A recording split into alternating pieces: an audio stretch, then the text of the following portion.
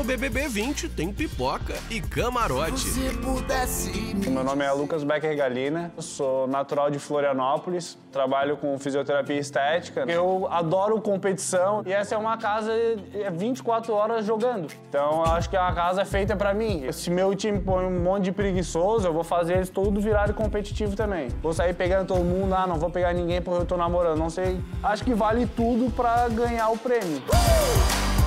Meu nome é Manu Gavassi, eu não sei o que eu faço da vida. Se precisar definir rápido, assim, eu diria cantora. Por que, que eu topei? Porque acho que é a maior loucura que vou cometer em toda a minha existência. E eu já quero o pacote completo, eu quero levar bronca que eu esqueci de colocar microfone, eu quero falar que, ah, estou voltando por uma questão de afinidade, eu quero o pacotão. Terça depois de Amor de Mãe. E essa casa foi feita pra eu entrar lá e ganhar. Quero aproveitar isso até o final. E claro que se eu ganhar um milhão e meio, né? É da hora. Ei,